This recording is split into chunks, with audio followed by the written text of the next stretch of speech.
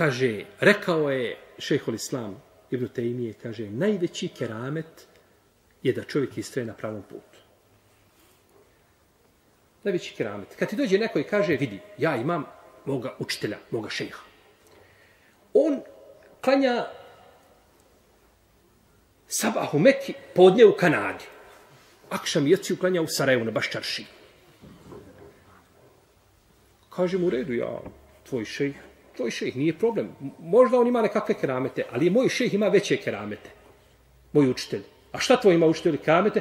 Kaže, dolazi na sabah namaz u džamiju i klanja sabah namaz.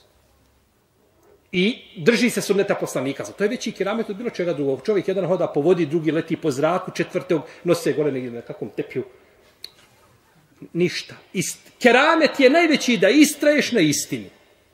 To je najveći keramet koji može biti. A većina tih kerameta koji spominju nemaju veze sa dini islamom, nego su nešto, nešto drugo.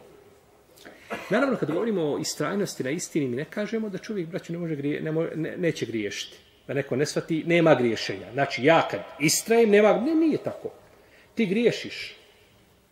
I griješenje mora biti. To je htio, ne htio, mora biti. Ne da, da te islam podstiče na to, Bože, sačuvaj, on to brani. Međutim, ti si po prirodi slab. I ja sam slab i griješiti moramo. Jer je svaki sin Ademov griješnik, kako je rekao, tako eh, Enes ibn Malik prenoseći od poslanika, sa osrem u hadisku Tirmizi. Sva, a najbolji griješnici oni koji se kaju. Pitao se jednog selefa, kaže, kako ti i grijesi?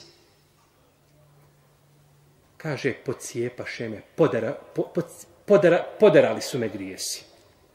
Ali kaže, ja se krpim istikvarom.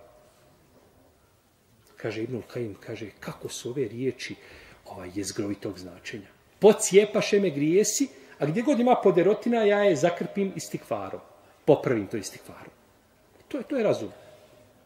Znači, griješenja će biti. To čovjek ne može... Međutim, najbolji griješi su oni koji se kaju, a maksimalno se trude da ne griješe.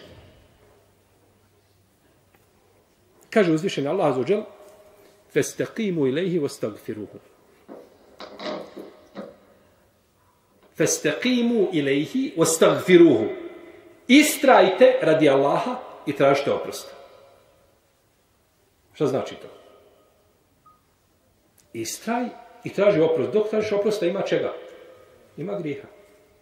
Znači, istraj, ali koliko god se ti trudio, ha, pa došlo od iskod Ibn Mađe da je poslanik, sa osam rekao, kaže, istakimu volen tohsu.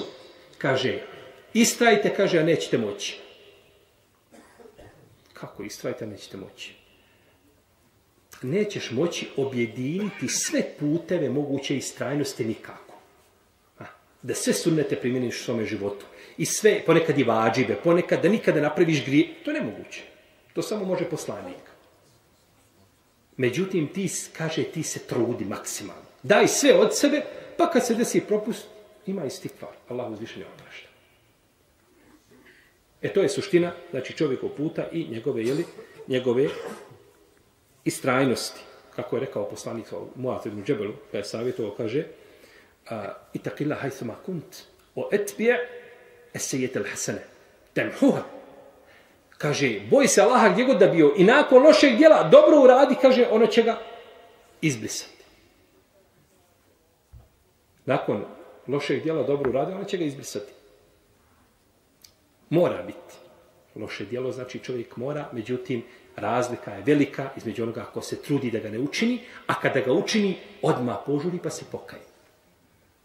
I onoga koji, je li tako, koji to čini iz zadovoljstva.